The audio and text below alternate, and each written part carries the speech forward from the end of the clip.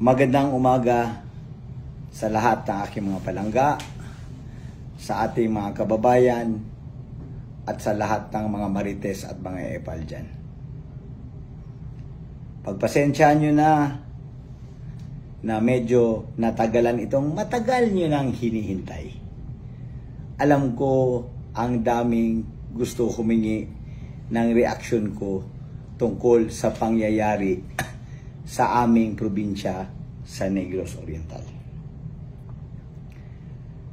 Na-delay lang ito ng konti dahil nasa abroad din ako dahil overdue na ang aking pagpapagamot ng amin pagpapalagay ng aking stem cell eh ang doktor ko ay hindi bumalik so kailangan ko siyang puntahan. Awa ng Diyos, tapos na naman po eh, kailangan rin natin ang ating health dahil health is wealth. Alam nyo ba, ito ang matagal ko nang kinakatakot na mangyari. Bakit?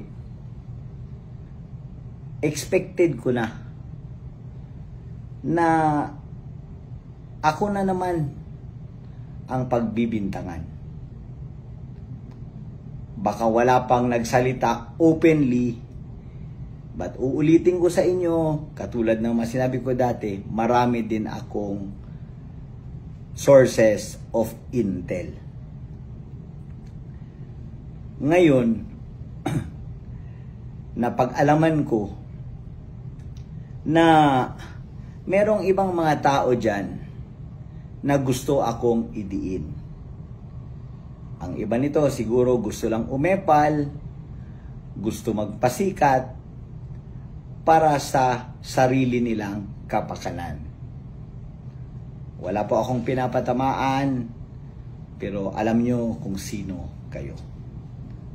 Again, hindi ko kinakalaban ang ating gobyerno. Sino ba naman si Arnie? para lumaban sa gobyerno. Ako ay ordinaryong tao lamang.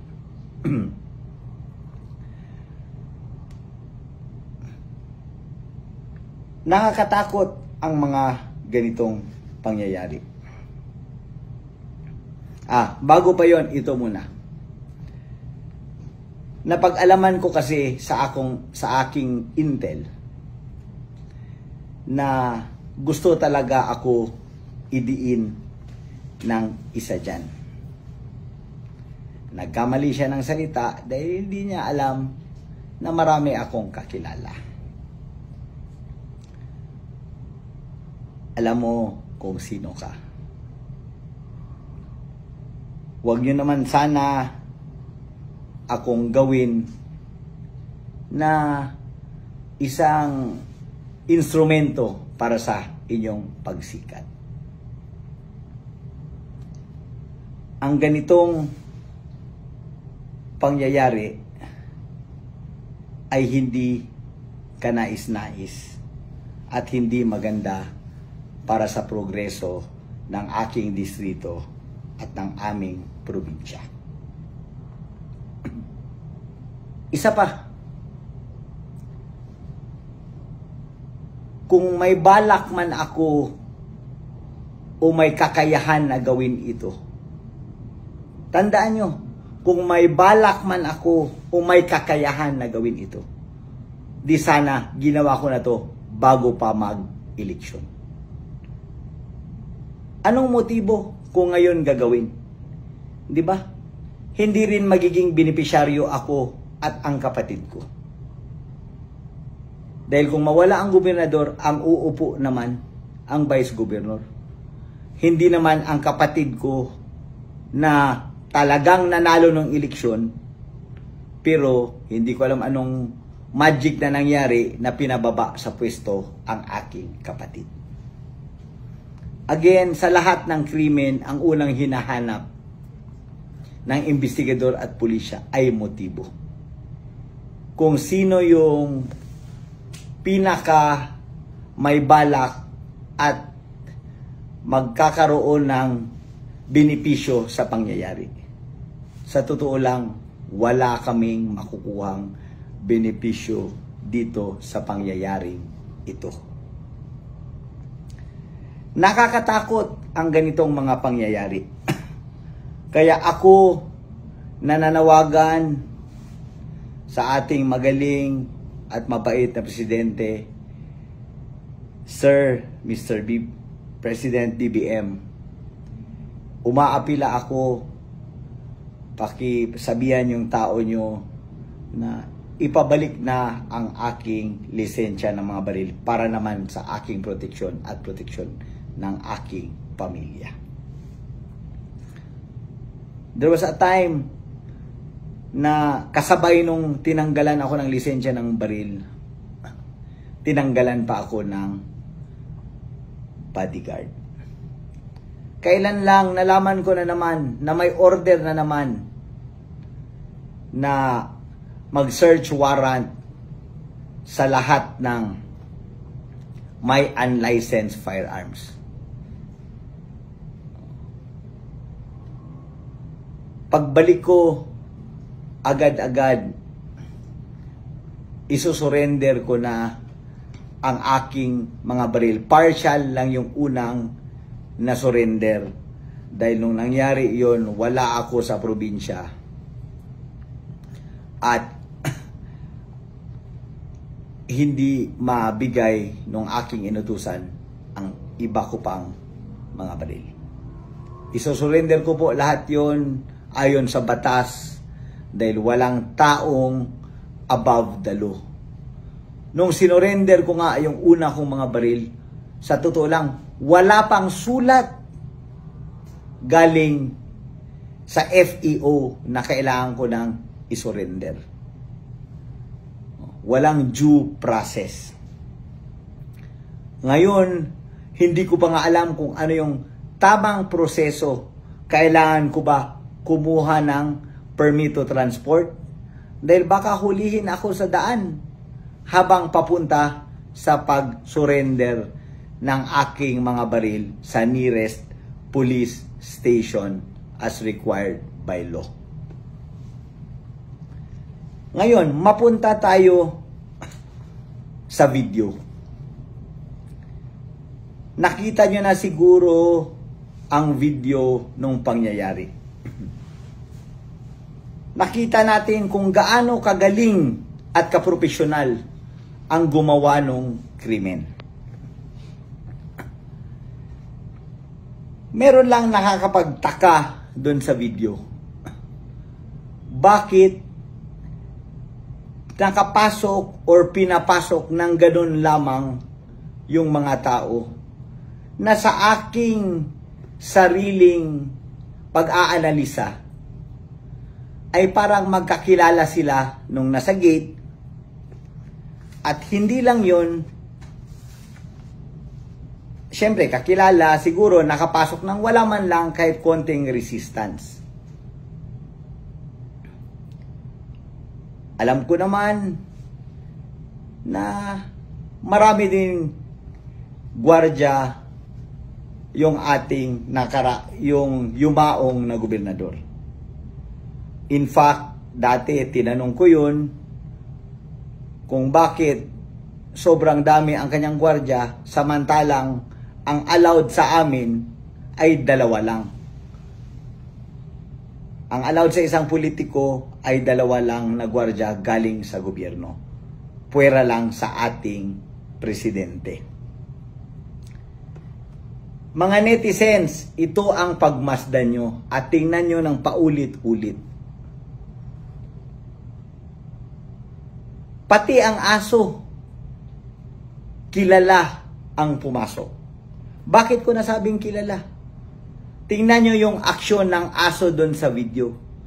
Hindi man lang kumahol, kung hindi, kumawag pa ang buntot. Kung baga parang kumakaway-kaway pa yung aso.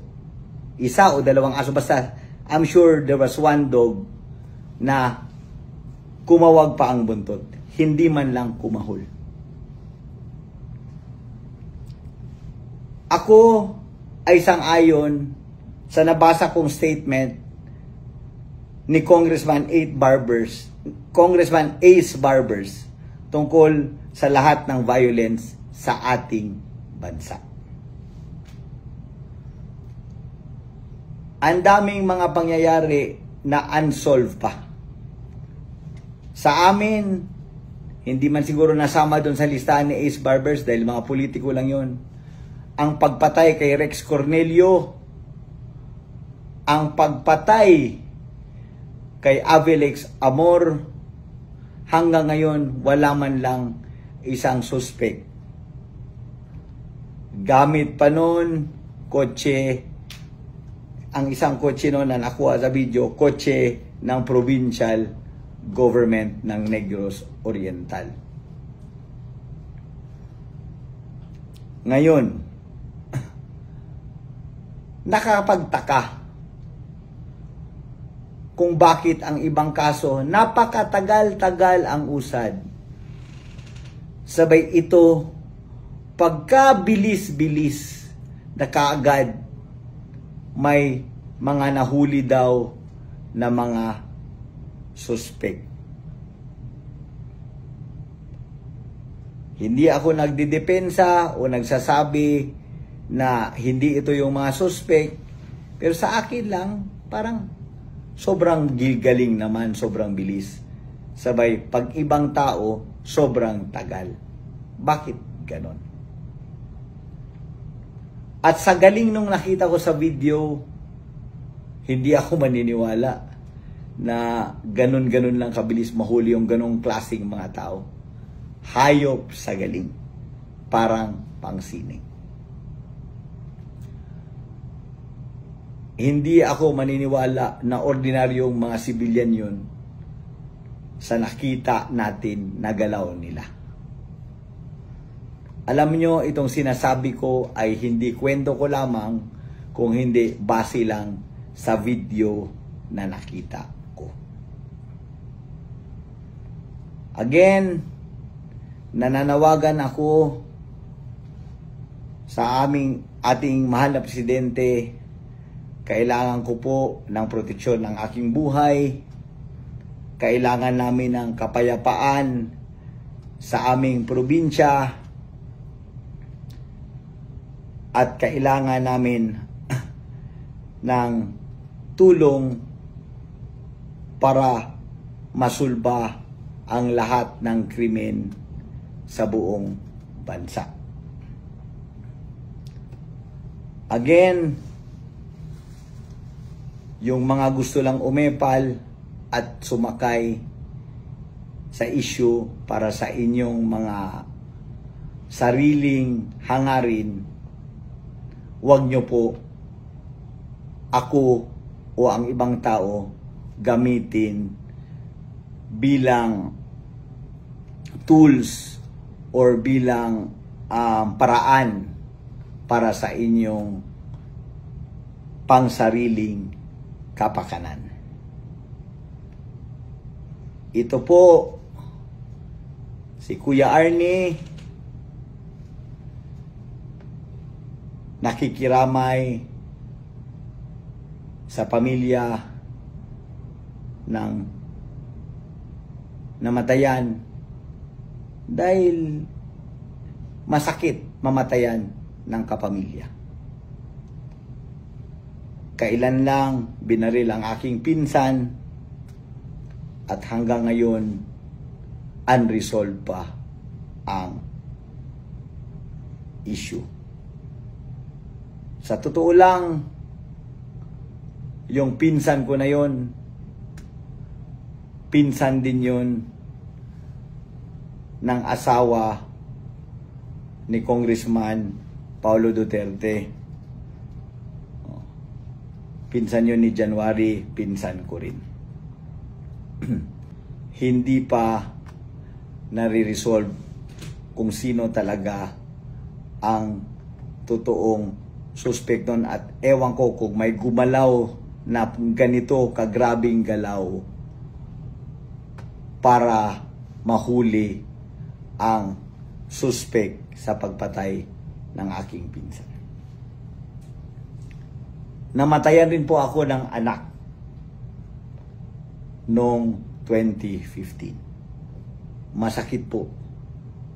Kaya inuulit ko po ang mga ganitong pangyayari ng patayan ay hindi ko gusto at hindi ka nais-nais. Alam nyo ba, gusto kong mabalik ang politika sa probinsya ng Negros Oriental na katulad dati sa panahon ng aking Lolo Lawrence, Senator Lolo Lawrence, at Governor at Congressman Herminio Tevez. Sa mga panahon na iyon, ang mga katunggali namin sa politika, nakikita ko sa bahay namin tuwing Fiesta November 25 at tuwing birthday ng lolo ko April 25 at tuwing birthday ng lola ko na May 14. Lahat ng eleksyon nasa buwan ng Mayo. Pero kahit sa mga taon ng eleksyon, ang aming mga katunggali noon, ang pamilya nila Masiyas, pamilya nila Perdices, pamilya nila Arnaiz, magkatunggali man kami sa politika, pero sa lahat ng party sa aming bahay, sa bahay ng lolo ko, ang tinatawag namin na big house, nakikita ko ang aming mga katunggali sa politika. Sana maibalik natin ang politika na ganun. Na politika, politika lang. Huwag na umabot sa bayolente na mga pamamaraan. Maraming salamat po.